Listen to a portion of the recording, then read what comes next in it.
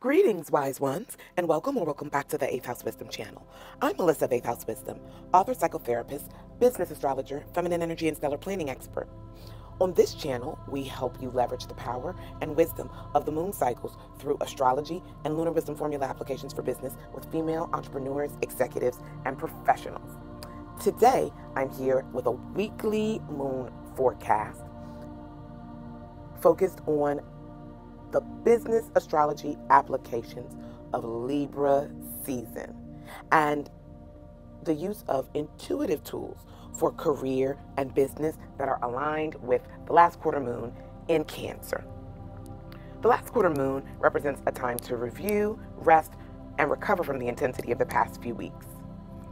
We're now in the yin passive energy phase of this very powerful lunar month and cycle, and in between two eclipses, which is also a very potent and transitional phase.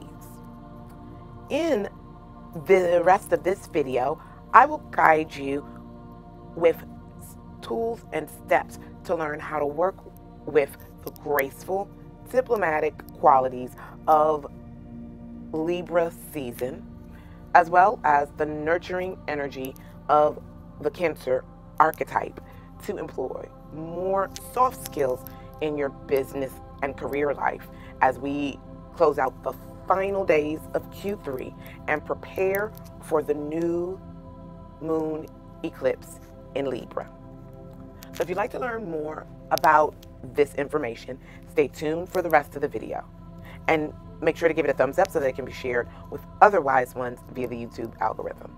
And if you haven't already, don't forget to subscribe to the channel for more stellar business astrology applications and weekly moon forecast and lunar wisdom formulas to help you balance your yin and yang energy and keep you in your soft girl era in life and in business.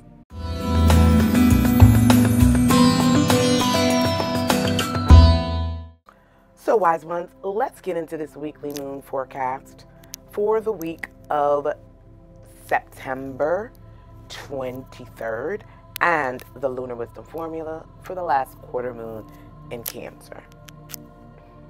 We have now arrived in Libra season, which is all about balance, diplomacy, and graceful leadership. While the moon has now shifted into its domicile or home of Cancer, which brings deeply intuitive and nurturing focus to our life and business endeavors. Together, these cardinal influencing energies allow us to tap into our soft skills for leadership, which are crucial as we approach the potent endings and beginnings that occur during any eclipse season. The last quarter moon in Cancer offers a unique moment to reassess our emotional needs in business, to look back at what we've accomplished over the last few months of Q3, as well as make thoughtful decisions about the future. Libra, the lover, is a diplomat, and the seventh house of astrology represents partnerships of all kind, relationship and business. And this is also the house related to how we do business.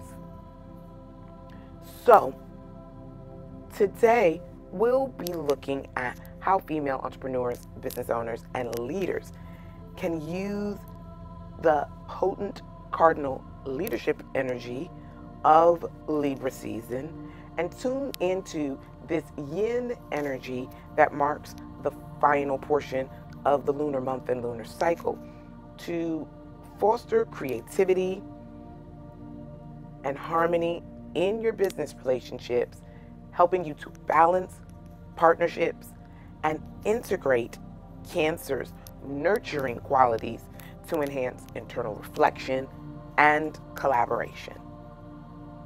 By working with these archetypal energies of Libra, the lover, and Cancer, the nurturer, you will have extremely potent energy at your fingertips to close out the third quarter of business, gaining emotional intelligence and navigating these transitions with grace. This is so important for the areas of your chart that are ruled by Libra and Cancer. So, we'll be diving in to eight practical tips that will help you be able to navigate the strong currents and align with this potent energy and elevate your business and career practices using intuitive and feminine energy tools. So if you haven't already, make sure to go grab a copy of your birth chart and your business chart if you have one so that you can most easily and readily apply the information that comes next. To apply the information in this video, click the link below to get a free copy of your birth chart. Understand your planetary placements and get your planet positions at birth so you know where all the signs are in your chart.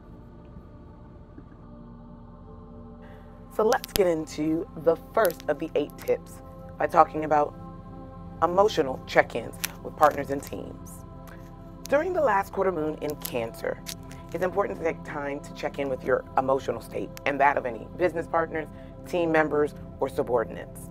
Cancer's nurturing energy supports emotional intelligence while allowing you to assess if your professional relationships are balanced and harmonious.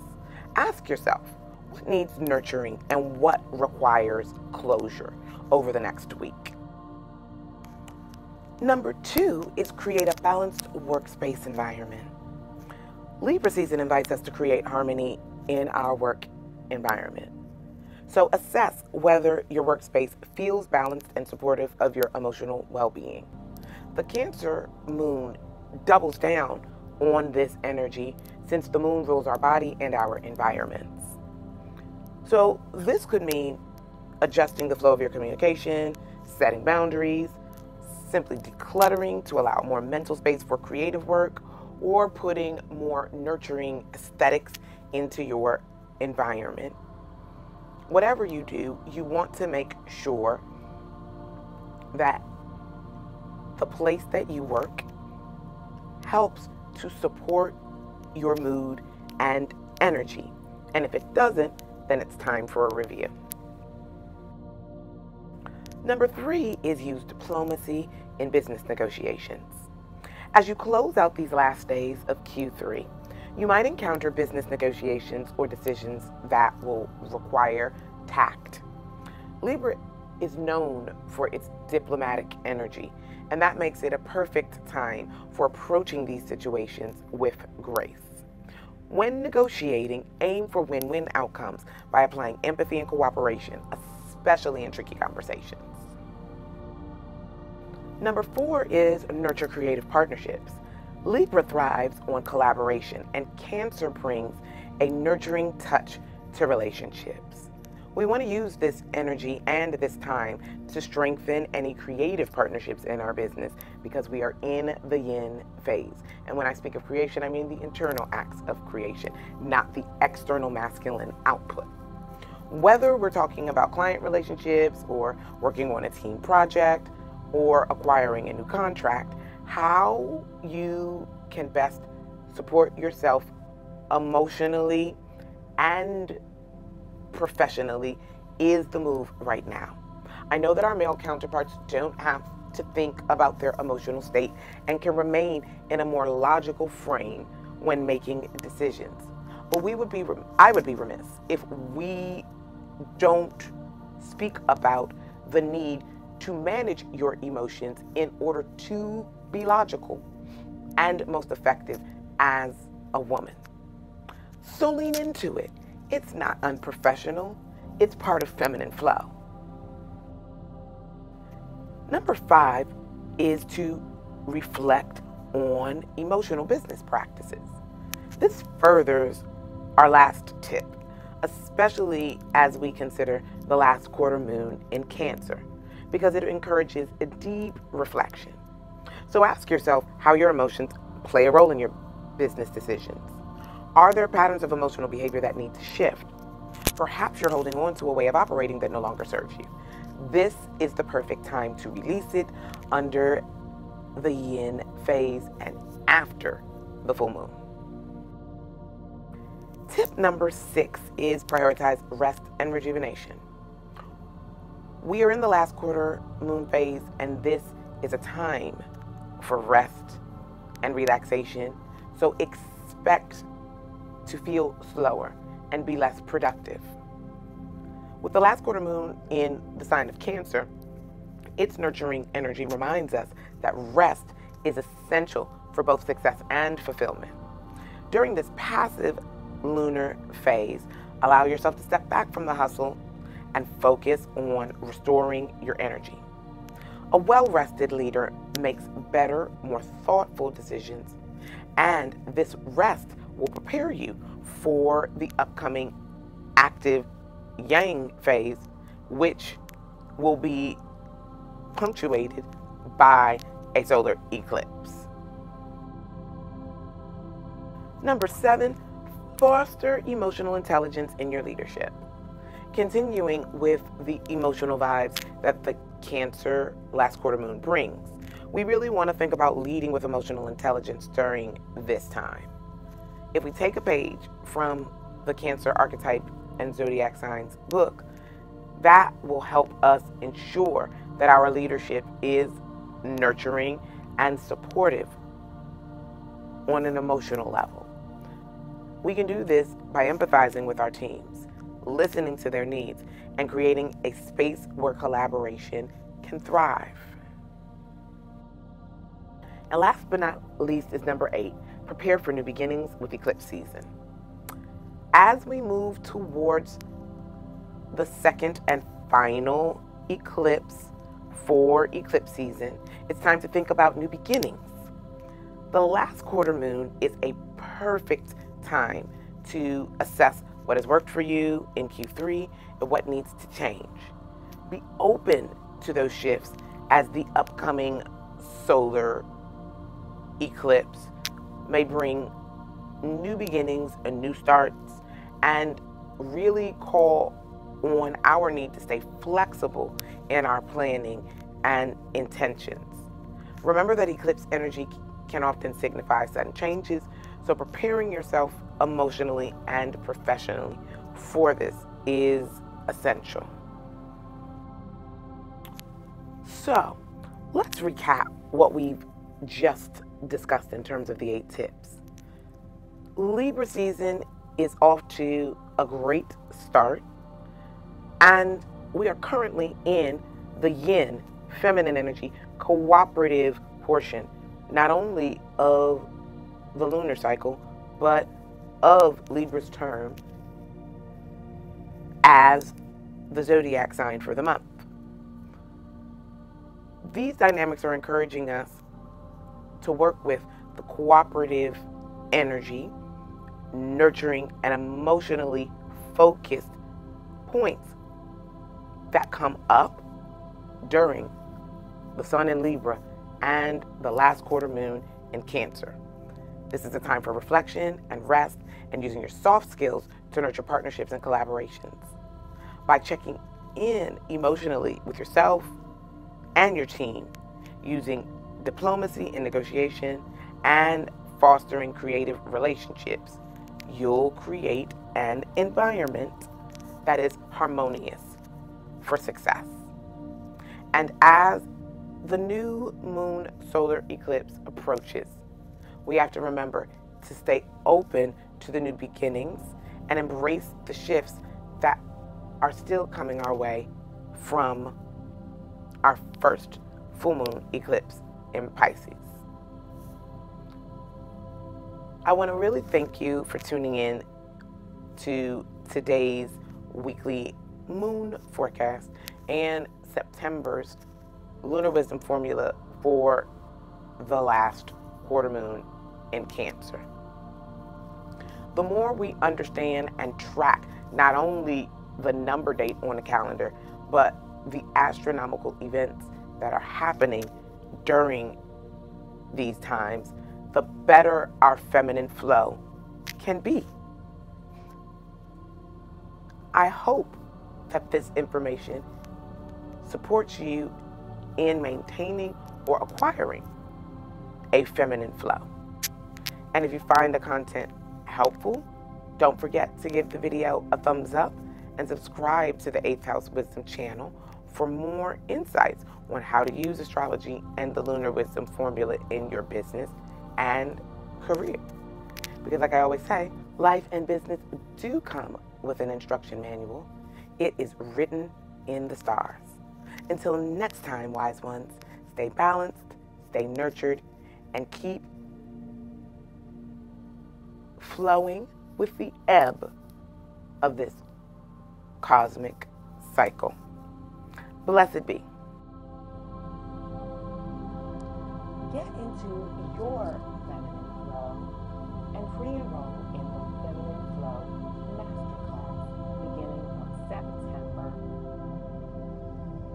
where I will help you unlock the power of the moon to transform your business, leadership, and life. In this masterclass, you'll learn how to harness the natural rhythms of the lunar cycle to achieve more with less stress, make confident decisions, and create a balanced, fulfilling daily routine by integrating my lunar wisdom formula into your life. This will help you discover a holistic approach to success that empowers you to lead with clarity and purpose. Enroll before September 3rd to get $30 discount by enrolling. The link is in the description below. Are you ready for a stellar breakthrough? In this 30 minute free stellar breakthrough analysis, we'll identify the top five things that might be holding you back from aligning to your personal stellar success cycles. The one thing that you need to do to move forward into ease and grace. Current energy vibes, the year ahead, your story, whatever you need to discuss related to the flow, timing, and planning in your life, we can start to work it out using astrology. Book your private session today by clicking the link below. Or just come to the website and see what service works for you. I'd love to be your stellar planning and lunar wisdom formula guide to living a soft life in business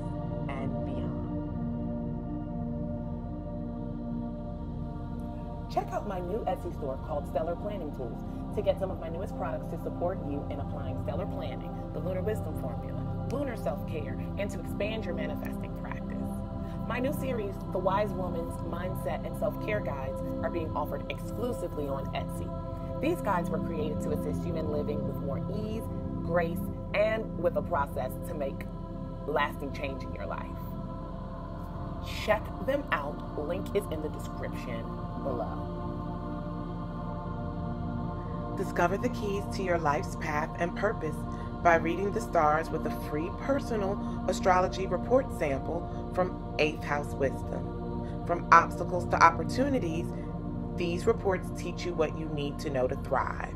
Try out any of these eight types of astrology reports, two multi package reports, and one tarot reading in the 8th House Wisdom Astro Report store before you buy them. They're available for immediate download and specific to you, your life, and your unique birth information. Crystals are a fantastic tool to harmonize and ground your energy. Use my coupon code 8th House Wisdom for 11% off high quality, ethically sourced crystals. Click the link in the description below to shop today. Get an in depth look at the astrology of 2024 and more information about my stellar planning process with this free workshop, Stellar Planning for 2024. Think, speak, and grow an abundant new year. Click the link in the description below to watch now. Remember, wise ones, life does come with an instruction manual. It's written in the stars. Please like, share, and comment on this video, and subscribe to my channel if you haven't already. Sending you so much light and love. Take care.